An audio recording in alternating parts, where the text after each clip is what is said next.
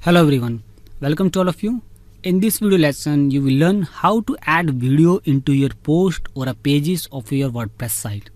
You can add any type of video post, upload it or insert videos into any post or pages. Let me show you how you can do this. Just log in into your WordPress panel of your administration panel dashboard and go to your all post. Just uh, open it edit it any post okay let me open YouTube to showing you that how you can add a video into your post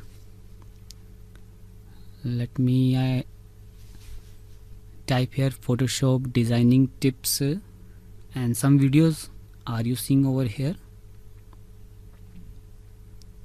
Just click this one. As as you are seeing in the bottom area that's next to share here. You can copy you can click on the embed and copy it. And where you want to put you can just paste it.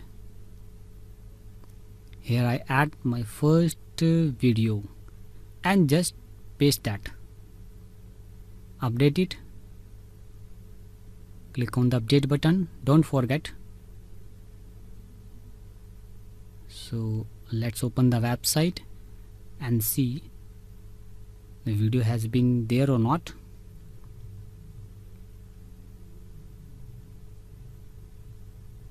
you have to click over that particular post where you have embedded that video. Yeah that's all. Here you can see this is a video and now just it is playing. You can put up in any post or pages whatever you like